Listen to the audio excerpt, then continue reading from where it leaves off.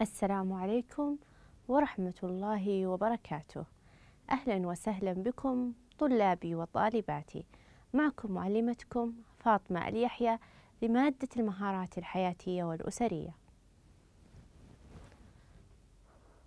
موضوعنا لهذا اليوم هو آداب اللعب. الهدف العام هو أن يتعرف الطالب أو الطالبة على آداب اللعب. الأهداف الخاصة أن يذكر, أن يذكر الطالب أو الطالبة آداب اللعب. حتى نستفيد سويا من الدرس هناك قوانين للصف الافتراضي سوف نتفق عليها. لا أستخدم أجهزة أخرى أثناء حضوري للدرس. بالرغم من عدم رؤيتي لزميلاتنا أو زملائنا أو المعلمين وجها لوجه إلا أننا سنتمكن من التعلم معا. حينما يبدأ وقت الحصة المباشرة تأكد من استعدادك الكامل في مكان ملائم للدراسة. أحبتي كما كنا ننصت للمعلم في الصف أنصتوا جيدا للدرس عن بعد وللشخص الذي سيساعدنا في المنزل. أثناء البث المباشر للدرس تأكد أن عقلي يفكر وأذني منصتة وألتزم الهدوء وعيني تشاهد. ما هو اللعب؟ حسنا طلابي وطالباتي هنا نبدأ بتناول درسنا لهذا اليوم معلمتي ما هو اللعب؟ ما هو تعريف اللعب؟ هيا لقد تناولناه سابقا ما هو اللعب؟ من يذكرني بذلك؟ ما هو اللعب؟ هو نشاط حركي يقوم به الفرد بهدف المتعة عندما أريد أن أستمتع بوقتي بعد العودة من المدرسة أو خلال الفسحة ماذا أفعل؟ أريد أن أستمتع بوقتي. أقوم باللعب مع أصدقائي أو مع إخوتي. إذا هو نشاط حركي يقوم به الفرد أي الطالب أو الطالبة بهدف المتعة والفرح والضحك. إذا عندما نقوم باللعب هناك مجموعة من الآداب يجب علينا اتباعها أو أن هناك مجموعة من التصرفات طلابي وطالباتي عندما تقومون أو تريدون اللعب مع أصدقائكم أو إخوتكم يجب عليكم القيام بها ما هي؟ ما هي؟ ماذا تشاهدون هنا بالصورة؟ ماذا تشاهدون هنا بالصورة؟ هناك الطالب أحمد وهناك الطالب خالد. الطالب أحمد يلبس الزي المدرسي الرسمي ثوب. وهنا خالد يرتدي بدلة رياضية تناسب الحركة وتناسب اللعب. إذا من آداب اللعب طلابي وطالباتي أن أرتدي اللباس المناسب المريح المناسب للعب. أما فيما يخص طالباتي الفتيات هل يصح أثناء اللعب أن ألبس فستان فضفاض هكذا؟ لا يصح طلابي وطالباتي لابد أن أرتدي ماذا؟ لباس أو زي مناسب قد أرتدي ماذا؟ بنطال أسفل الفستان بحيث يسمح لي بالحركة أو زي مناسب للعب أيضا من آداب اللعب مراعاة أدوار الآخرين. مراعاة أدوار الآخرين. سأذكر لكم الآن قصة. ذهب أحمد وأسماء وخالد إلى الحديقة.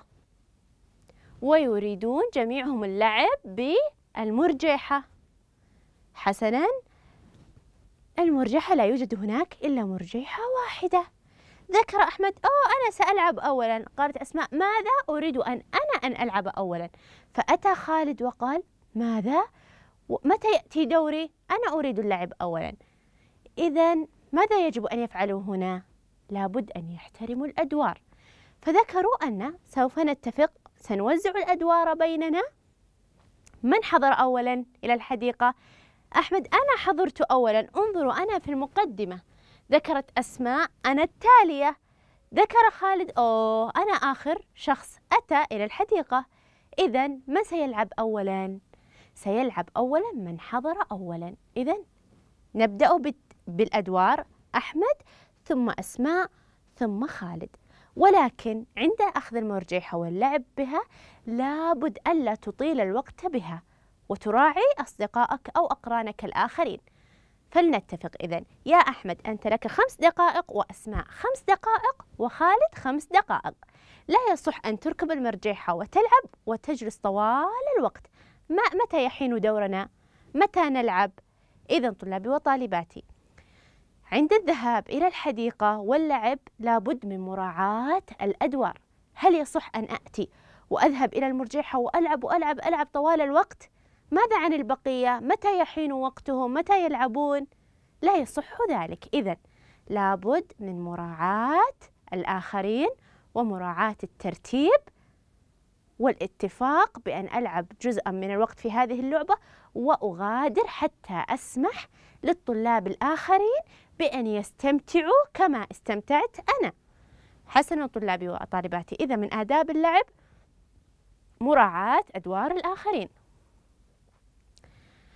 إذا من آداب اللعب أيضا ترتيب الألعاب بعد اللعب.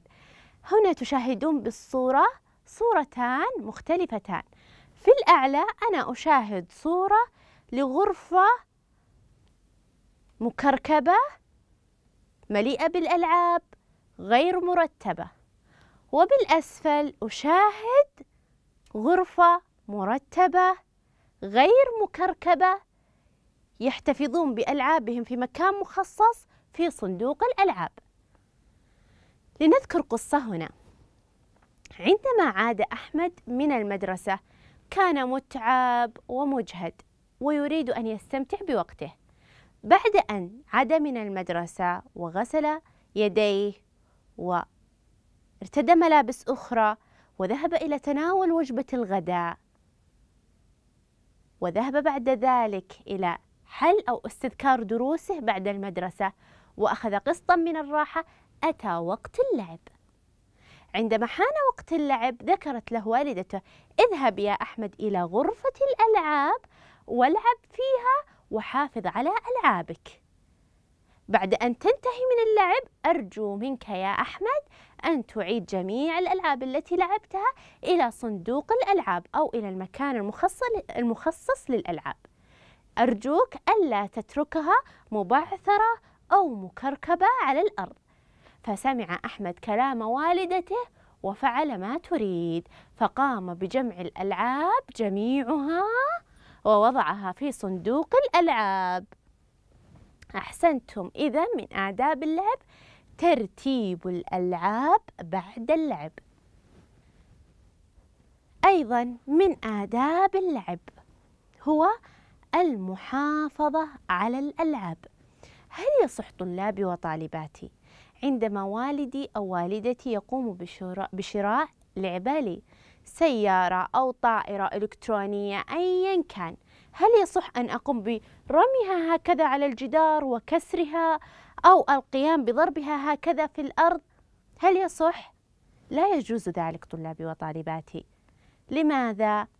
لأن والدي أو والدتي قاموا بشراء هذه اللعبة بهدف أن يسعدوني أن أقوم باللعب أن أن أروح عن نفسي بعد جهد أو عناء المدرسة لذلك لابد من الحفاظ على ألعابي انظروا هنا إلى الصورة معي ماذا تشاهدون؟ هل هذا تصرف سليم؟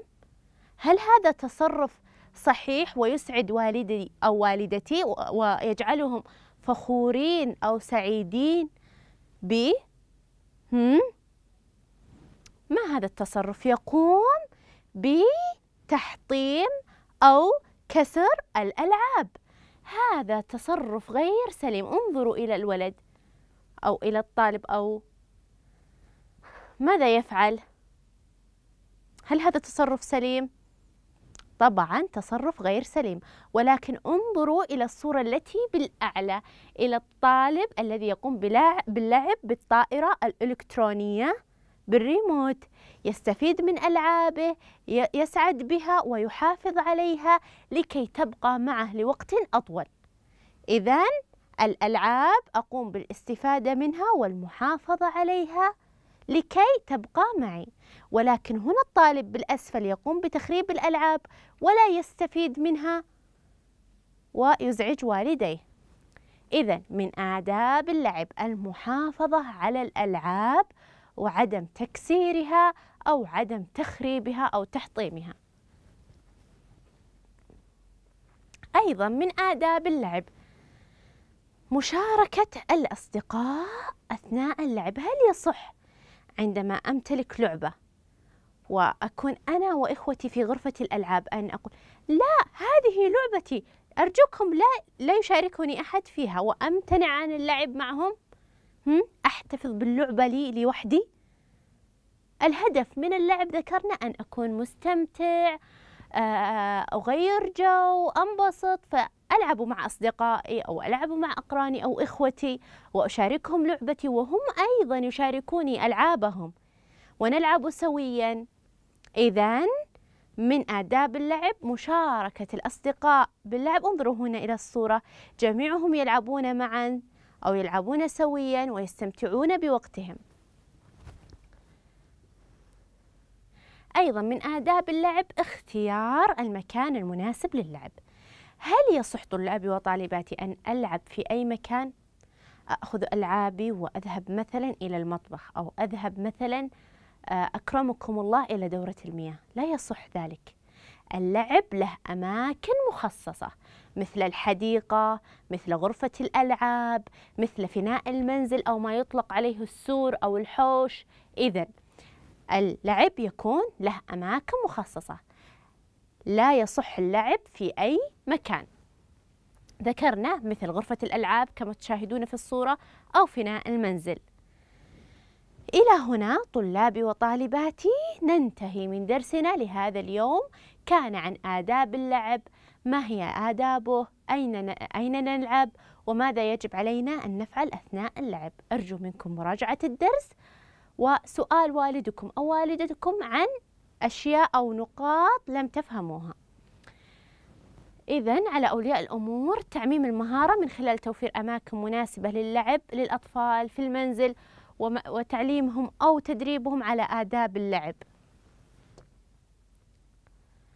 التوصيات العمل على الاطلاع والمشاهدة على تكرار دروس المهارات الحياتية من خلال قنوات البث التلفزيونية ضرورة حرص الوالدين على متابعة الأبناء عند مشاهدة الحصص التعليمية الالتزام بالمراجعة الدورية عند انتهاء الحصص اليومية جلوس الأهل مع الأبناء ومحاورتهم والاستماع إليهم وإلى ملاحظاتهم. أيضا خلق بيئة منزلية محفزة للأبناء في المنزل من خلال التشجيع بالمحفزات والمكافآت المادية نقل أثر التعلم من الحصص الدراسية إلى المنزل من خلال الأنشطة اليومية المنزلية. إلى هنا ننتهي من درسنا لهذا اليوم. إلى اللقاء.